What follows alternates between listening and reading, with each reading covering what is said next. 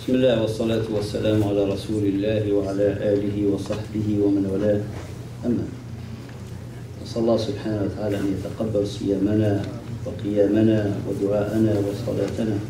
اللهم إنك عفو كريم تحب العفو فاعف عنا يا أرحم الراحمين ويا رب العالمين.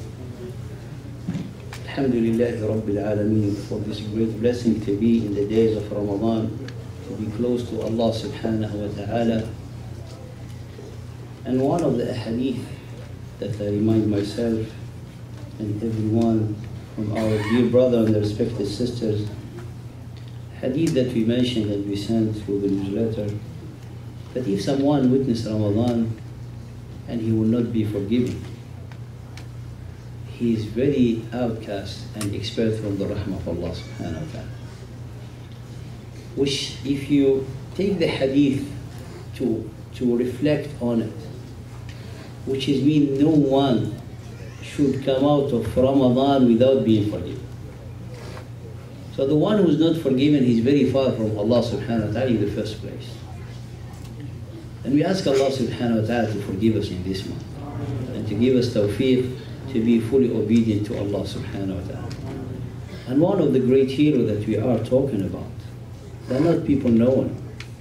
They're not people on the, you find them on first time or prime TV, or are not people in the first page of magazine or the high ranks of the of those famous people. They're not known. They are hidden. And the Prophet ﷺ, when he gave us, as we were talking yesterday, ضيت امرئ لا يؤبه به someone who have any clothes, worn out clothes, no one will give him importance, but Allah subhanahu wa ta'ala loves him more than anybody else. And those these people, we want to be like these people. We don't want to be famous for people to talk about us. That everyone who wants to be famous, he will reduce all his good deeds to, to zero. Why? Because when he comes in the day of judgment, whatever he did, Allah subhanahu wa ta'ala say, he didn't do it for my sake. And you know the hadith, that the fuel of hellfire will be people of knowledge and people who has Quran and the other one who has money and used to give sadaqah. But all of them, they did it for people to say this one is brave, the other one, he's like he's great knowledgeable person, and the other one, he's like someone who's generous. And Allah subhanahu wa ta'ala will tell them, you already got your reward in the dunya. You will be seeking for people to say he's great, and they said it. Therefore, you got your reward. You didn't do it for the sake of Allah subhanahu wa ta'ala. These people that Allah subhanahu wa ta'ala and the Prophet sallallahu give us their description, they are those who are the famous people. And the Prophet sallallahu he said, لو أقسم على الله لأبره Look this great position, look, look this great honor. Someone not only asking dua from Allah, his request, but he made qasam on Allah. Not qasam that he's making favor on Allah, but this is to see how the rank of servitude to, to with Allah subhanahu wa ta'ala, that someone, he will comfortable inside. He know that he's close to Allah subhanahu wa ta'ala. He know that Allah subhanahu wa ta'ala loves him. And Allah subhanahu wa ta'ala promised him. If you look in the book of Allah, we have the promise. Allah subhanahu wa ta'ala said, Call me, I'll answer you. Ud'uni astajib lakum. And we have the hadith Qudsi. In the meaning of it, if you go to Allah walking, Allah come to you running. So, at the hadith of the tawbah, the one who comes make tawbah, that Allah subhanahu wa ta'ala is more happy than the one who lost his camel and he lost his belonging and he was like living or maybe gave up to find them and he find them back. And all the hadith that you know just to give us a glimpse to remind of ourselves our relation with Allah and how Allah subhanahu wa ta'ala merciful for us. The Prophet he said among these people is Al-Bara ibn Malik. Al-Bara ibn Malik, one of the great companion of the Prophet ﷺ, he was the brother of Anas ibn Malik, the one who was serving for years the Prophet.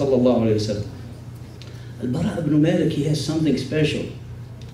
He lived all his life for the sake of Allah. He's no one, he has only one great principle in his life, Allahu wal Jannah. Allahu wal Jannah. He's lived his life for Allah subhanahu wa ta'ala, hoping for Allah to take him as a shaheed. One of his brother came and they were visiting him. He was very sick.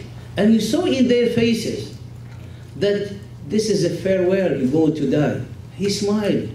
He said, by Allah, Allah only will take me as a shaheed, not here.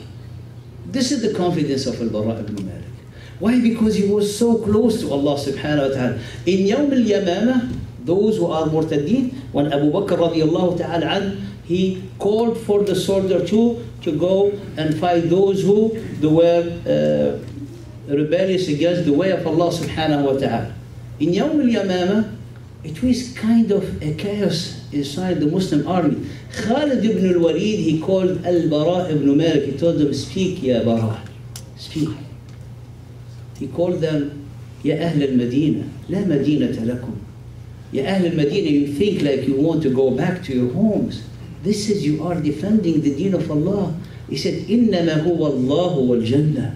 Allah والجنة brought back the believer, boost their spirit, and mashallah, they, they, Allah subhanahu wa ta'ala give them the victory, but they were, the, the murtadeen they went into, those are the followers of Musaylim al-Kadhab, who was claiming the false prophethood, they were hiding in a fortress. He is al-Barra ibn al-Malik, he told them, throw me to open for you the door. And some of the companions say, al-Bara ibn Malik, he was thrown to himself to at-tahluka. After it, Abu Bakr radiallahu ta'ala called people to give them a sermon, khutbah. He said, do not do say, do not say that. Al-Bara ibn Malik, he was thrown himself for the sake of Allah. He wanted to help the believer. He was not calling himself or throwing himself to get killed. But those who throw themselves to, do, to ruin, that those who don't give in the sake of Allah. Because Allah subhanahu wa ta'ala قال After what? Give in the sake of Allah. Whatever you have, money, time, skills, give in the sake of Allah subhanahu wa ta'ala. فالبراء ibn Malik, they throw him, subhanAllah, they hold him on the spears and he jumped from the other side. And he fought, he got more than 80 stabs. And he opened for them the door. And Khalid ibn Walid was taking care of him for more than a month. And he didn't die. Subhanallah. This type of people he was, he has a courage that, let's say, an extreme, extreme courage. To the point that Umar ibn al-Khattab radiallahu ta'ala anhu, every commander of army he sent to Khalid ibn Walid told him, be careful, don't put Al-Bara ibn Malik to be a commander of any unit. Why? He said, because he's so brave, he's gonna kill everyone with him. Al-Bara should not be a captain. He should not be a commander. Why? Because he always go through, he want to die. But he's not like die to die, but die because he's so close to Allah. He lives, subhanAllah, another dimension. He is with Allah subhanahu wa ta'ala. And it comes the day. When in the day of Tustar, and this Ahwaz and the Persian, and the Muslim, they had this big battle against the Persian. They said, and it was a difficult time because they were in a very big number and the Muslims they were in a few number. قالوا يا براء أقسم على ربك We make dua is not working. Make qasam on Allah. It's like someone make qasam, it's like you, you invite someone and say, by Allah, I want you to come. So the one you invite him, when you say qasam, he will be ashamed to decline your invitation. And Allah subhanahu wa ta'ala in the hadith, Allah subhanahu wa ta'ala yastahi, Allah is shy subhanahu wa ta'ala. When you lift your hand and you bring them back without Allah answering your dua, Allah is shy. So in Bara ibn Malik قال اللهم يا ربي أقسم عليك أن تمنحنا تمنحنا أكتافهم. Oh Allah, I'll make qasam on you. I swear on you, Ya Allah, to help us defeat them. And the second one, وأن تلحقني بنبيك محمد صلى الله عليه وسلم. and to join me to the Prophet sallallahu And it was the qasam that Allah abarra al-bara ibn Malik. He fulfilled his qasam. And if we look at ourselves, how far we are from al-bara. Do you know that Allah subhanahu wa ta'ala, how he explained how he loves his servant? But we do not understand how much Allah subhanahu wa ta'ala loves. I'll give you an example. If someone, subhanAllah, Allah gifted him with the Iman, and he had the intention to go sin, he's going to make a sin. When he starts the car, the car doesn't work. And he's so mad that because Allah loves you. Someone called you, there is an emergency because Allah loves you, He doesn't want you. And Allah subhanahu wa ta'ala put you obstacle after obstacle after obstacle. People they say, look at these people, they can have everything. This one can have money, the other one can have full desire, except me, except you because Allah loves you. He doesn't want you to fall into the obstacle. But when you insist, when you insist, when you insist, Allah subhanahu wa ta'ala leave you alone. So when you see obstacle in our life, when you see difficulties in our life, Allah subhanahu wa ta'ala want to save us from ourselves Want to help us with ourselves. Because we do not know what we, what is good for us. Allah subhanahu wa ta'ala knows. And this is a way maybe to reflect on it in Ramadan. Whatever you see obstacle, think of it.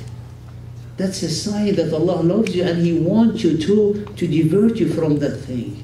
نسأل الله سبحانه وتعالى أن يملأ قلوبنا بذكره اللهم اجعلنا ربنا من المتقين واجعلنا من